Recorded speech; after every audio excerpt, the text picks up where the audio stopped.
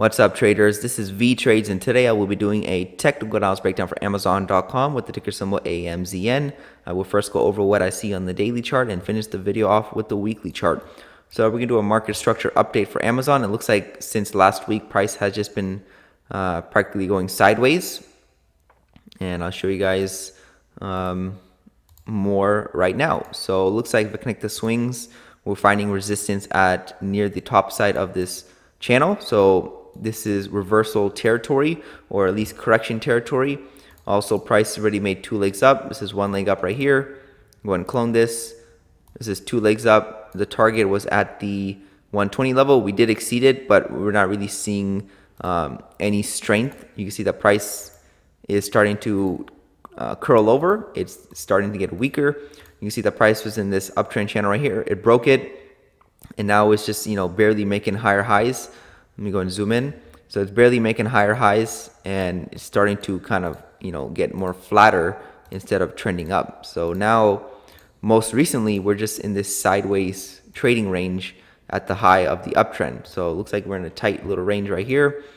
And you can see that we could, could we could continue to correct in this manner. Correction doesn't mean necessarily we're going to pull back uh, like, you know, towards the uh, this channel or the support side of the channel, we could just continue to trade sideways uh, maybe into this one right here because this channel looks to be uh, also something uh, that could come into play, this green one.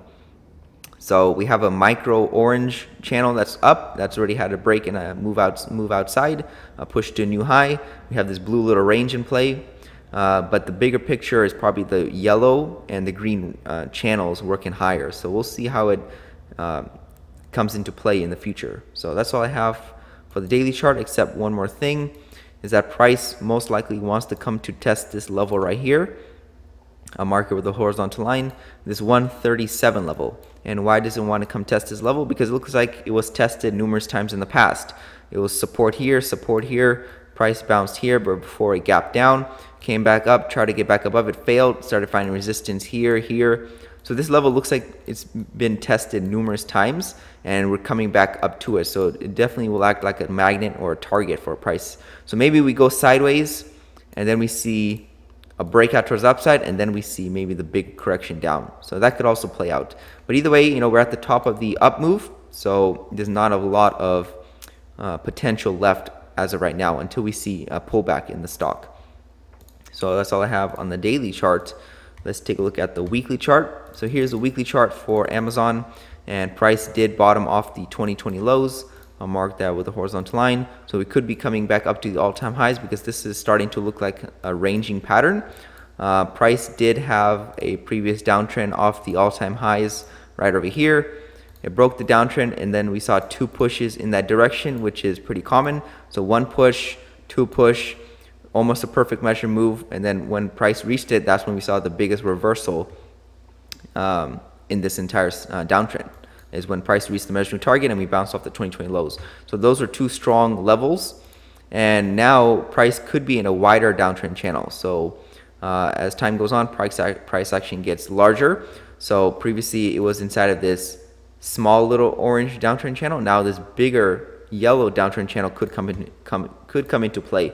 So here's the here's what can happen. If if this support level at the 81 is strong, that means price uh, will probably continue trending higher. But I still want to see two attempts down uh, that fails. So I want to see one attempt, two attempts, and boom, fails. And um, most of the time, you know, staying above the EMA. So we could do it right here, or we could do it a little bit higher. Um, either way, I want to see two attempts down for this downtrend because after a, a, downtrend channel break, you expect two attempts in that direction to retest the prior low. So those two attempts down could fail and we can see higher prices. However, if we see, you know, like a sharp move down and then we see two attempts up, then that could fail and we can then we can see that move down. So it just depends on what price wants to do.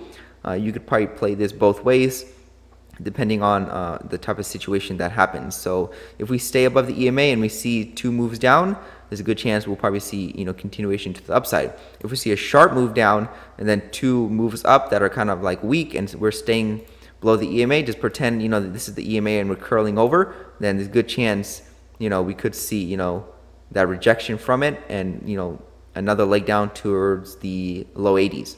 So it depends on what the market wants to do as of right now. But I would still expect, you know, a, a move down uh, fairly shortly. So that's all I have for the Amazon on the daily and weekly charts. And I'll probably give you guys an update next week, Saturday. This is Vee Trades, and thank you for your time. The Vee Trades technical analysis course is now live. Learn to read the chart the right way to prevent costly mistakes. Click the link below to start training now.